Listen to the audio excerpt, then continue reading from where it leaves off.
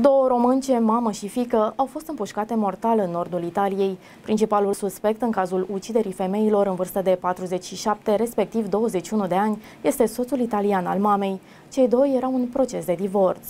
Conform mesajul.ro, trupurile româncelor au fost descoperite de carabinieri în interiorul locuinței după ce vecinii au alertat din cauza zgomotelor auzite. La fața locului sunt carabinierii din Teneza di Castelfranco și unitatea de investigații care au efectuat primele verificări împreună cu magistratul de gardă. Soțul româncei, un om de afaceri italian acum pensionat, este principalul suspect în ceea ce pare a fi o dublă crimă. Bărbatul Salvatore Montefusco, în vârstă de 69 de ani, a fost reținut pentru a fi audiat. Victimele sunt Gabriela Trandafir și fica ei, Renata Alexandra, care locuiau de ceva vreme în zona Modena, în casa din Via Casola di Soto, care face parte dintr-un complex de case în care locuiesc patru familii. Tânăra de 21 de ani s-a născut dintr-o relație anterioară a mamei ei, în timp ce românca de 47 de ani și soțul ei mai avea un copil acum adolescent. Vecinii care au aflat rapid de tragica veste au fost șocați. Conform celor relatate de un vecin, cuplul a avut dispute de mai multe ori,